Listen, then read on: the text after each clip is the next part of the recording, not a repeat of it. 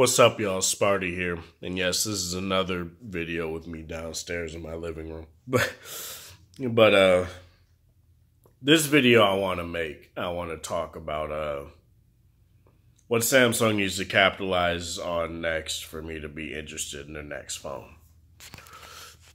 And I'm not talking about the S9, S9 Plus. I'm not going to be interested in those. I'm going to be interested in the Note 9. What I want to see Samsung capitalize on next is audio. And I'm talking beyond putting a putting very good headphones in the box. Those are for what you get, those are very good headphones. Those AKG tuned Samsung earbuds, those are very good. What I'm talking about is doing what LG does. What HTC does and that's have an audio experience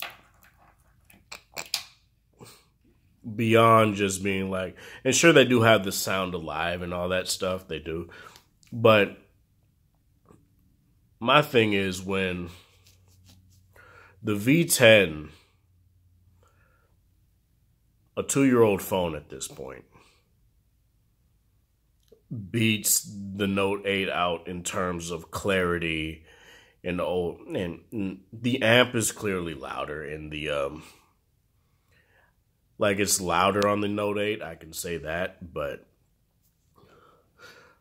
like you could turn up the volume all the way and it'll and overall sound will be louder, but clarity is it the clarity on the V10, not the V20, the V10 is better than it is on the Note 8. And for you guys to buy Harman and not do anything like that, to do stuff like what LG did, did and do a quad DAC.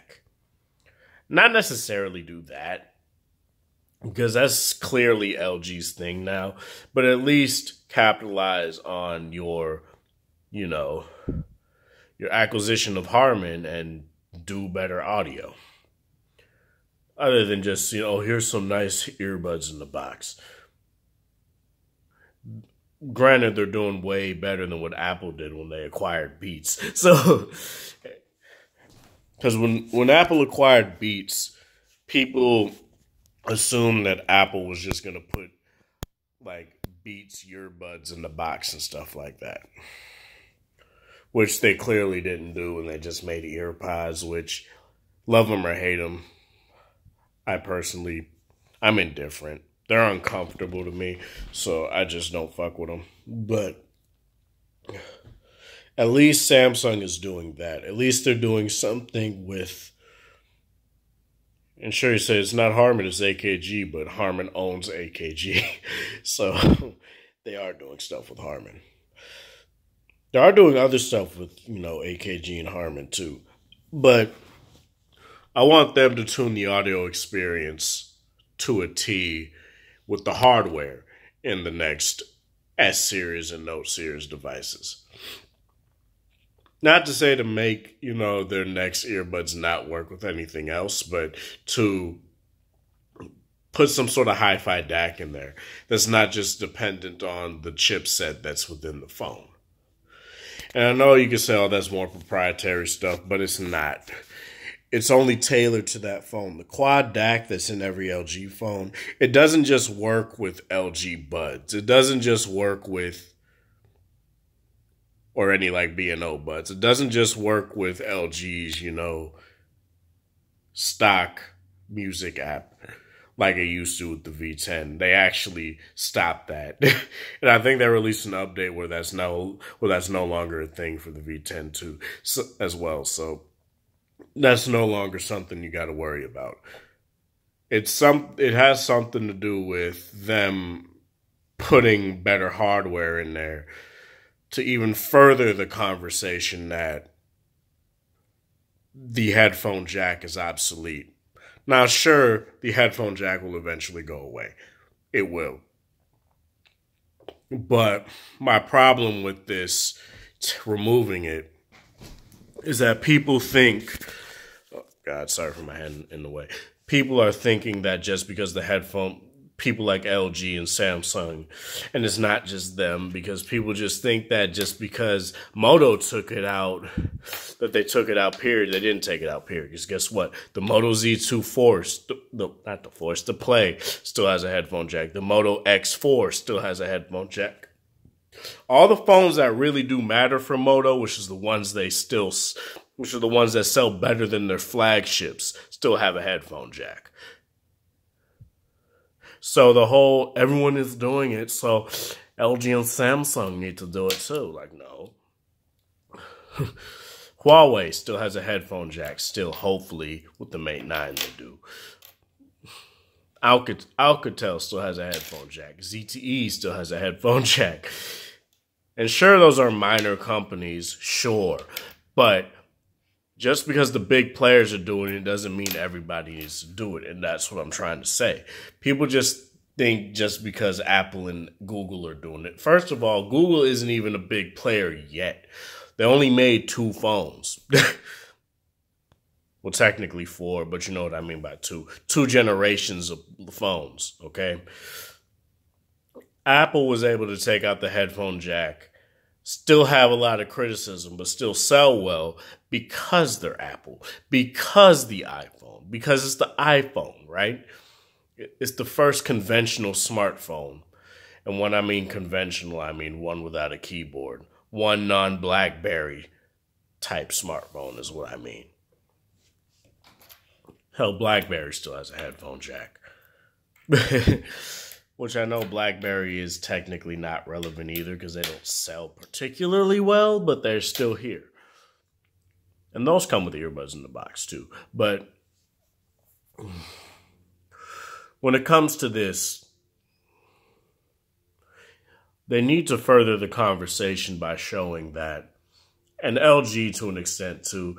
Sure, they have a quad DAC, but not every not every not every V30 comes equal in the sense that they all come with a hi-fi quad DAC. They all come with the quad DAC, they do. But they all don't come with the earbuds in the box. Well, sure, the argument can also be that, oh, you could just buy a pair of $20 earphones and you'll be good. Sure. Or $10 earphones and you should be good.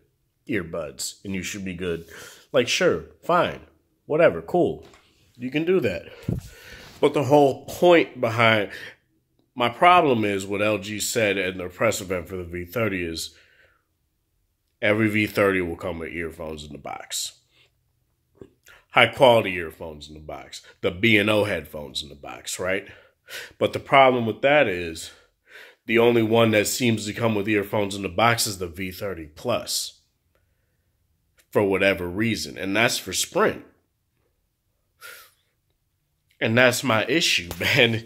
My issue is that you you say that, but not every V30 comes with earphones in the box. And sure, the headphone jack has been around for over a hundred years now, or a hundred years now. So everyone obviously has headphones lying around somewhere, right? Sure. But the problem is, is that not every headphone is equal the V20 and the V30 can drive cheap headphones and make them sound better, but they're not going to be as good as something like a pair of Shures or a pair of AKGs or a pair of Sennheisers, stuff like that. And I'm not talking about the like super expensive shit, expensive shit. I'm talking about maybe like 40 to 50 dollars shit, which I know is still expensive for fucking headphones, but I'm just saying. And another thing, OnePlus as well. OnePlus.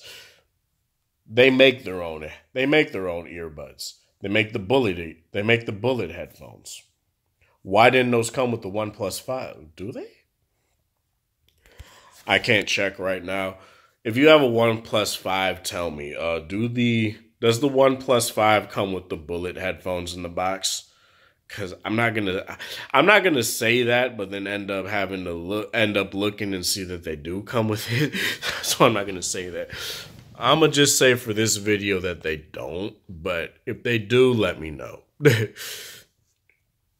I'm pretty sure they don't because I haven't heard anything about them coming in the box, but yeah.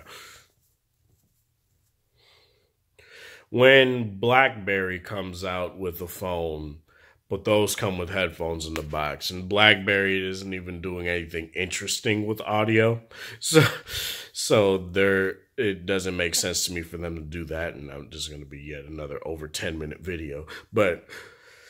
Uh, I'm not mad that the headphone jack is leaving. I'm mad at the fact that they're taking it out, but they're not making USB audio better in any sort of way. And when I say USB, I do mean Lightning as well. So, with USB C audio, what do they do? They take out the headphone jack and they make some proprietary pinning inside the you know the adapter or the headphones that come in the box so you can't use them with any other USB C phone or any device with USB C, whether it be laptops or computers or anything like that. Which I think is stupid. If you're trying to make a standard more of a standard, you shouldn't be doing any sort of proprietary pinning inside the adapter or the the the port the jack of the headphone. I'm gonna just say jack for this case because it's just stupid. Apple used to do the same thing. They used to have four rings around. I think they still do.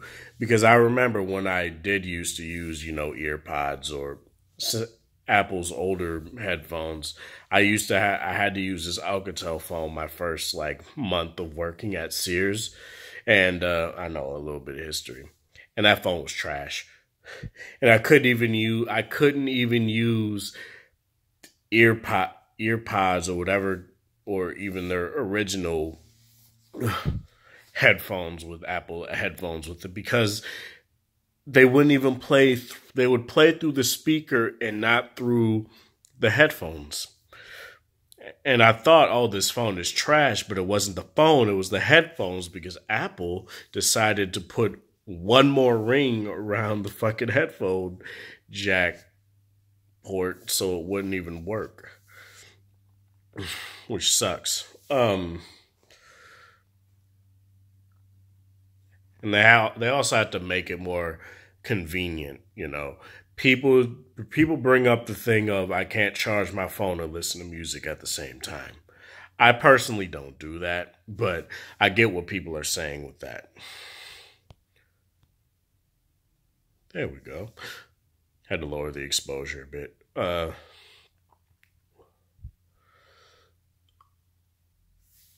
what am I trying to say? Sure, Bluetooth audio is also a thing. And I do support Bluetooth audio. But Bluetooth audio still crackles. Bluetooth audio still relies on something that will lose charge other than your phone. Bluetooth audio still relies on, you know, a decent connection and all that stuff. And Bluetooth 5 is nice. It's good on saving the battery of my Note 8. Like, I can tell you right now, Bluetooth 5 has been working miracles for me overnight. You know, six hours of continuous, you know, podcast listening. And I only really lose like maybe 10, 20% overnight. As compared to my V20 and my G6, where I would lose like maybe 35 or 40 overnight and I don't even have to bring my charger with me, which is a very fucking nice bonus. Except for tonight, the only times I do is when I know I'm going donating.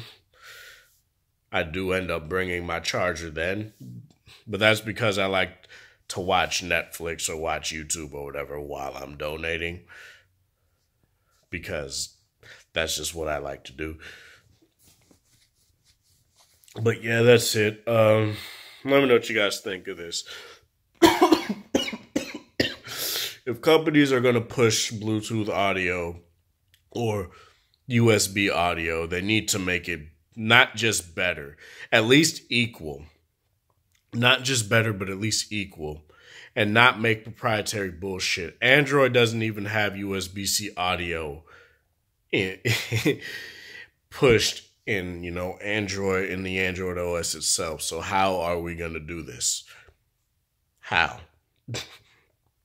How Sony doesn't even push corded audio and they're like the king, one of the four kings, I guess, of audio of headphones. So who knows? Um, as I said, let me know what you guys think of this. This is Sparda. Thank you guys for watching. Thanks for the support. I'm gonna try and get some sleep because I'm getting fucking tired now. But yeah, have a good one.